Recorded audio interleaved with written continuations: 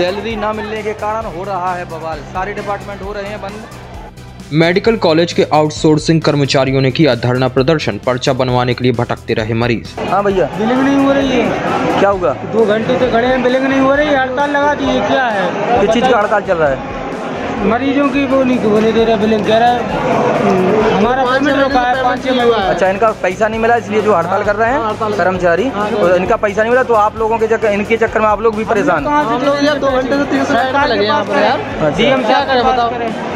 वही मतलब है तो इनका पैसा नहीं मिला इसलिए इन लोगों ने हड़ताल कर दी और आप लोग उसमें परेशान हो रहे हैं। तो काफ़ी जो है देखो पूरा काम नहीं करने दे रहे माहौल भरा हुआ हल्ला हो रहा है बहुत ज़ोर से किसी का काम नहीं हो रहा बड़ी लंबी लंबी लाइनें लगी हुई हैं। कृपया इस पर ध्यान दें प्रशासनिक अधिकारी कृपया इस पर ध्यान दें। महारानी लक्ष्मीबाई मेडिकल कॉलेज के आउटसोर्सिंग कर्मचारियों ने आज वेतन की मांग को लेकर धरना प्रदर्शन कर कॉलेज प्रशासन के खिलाफ जमकर नारेबाजी की। कर्मचारियों के धरना प्रदर्शन के कारण मरीजों को पर्चा बनवाने में खासी परेशानी का सामना करना पड़ा। मेडिकल कॉलेज के कर्मचारियों ने कॉलेज प्रशासन पर आरोप लगाते हुए बताया कि उन्हें कई महीनों से वेतन नहीं मिला।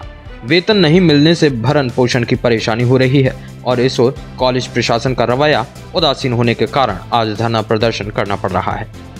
उन्होंने वेतन दिलाने की मांग की। गौरतलब है कि कर्मचारियों के धरना प्रदर्शन करने के कारण मरीजों के पर्चे नहीं बनने और कर्मचारियों द्वारा कार्य न करने के कारण बाहर से भारी तादाद में आए मरीजों व उनके तीमारदारों को भारी परेशानी का सामना करना पड़ रहा है। पुष्पेंद्र श्रीवास के साथ नेहा श्रीवास की report, Bundelkhand today news Jhansi.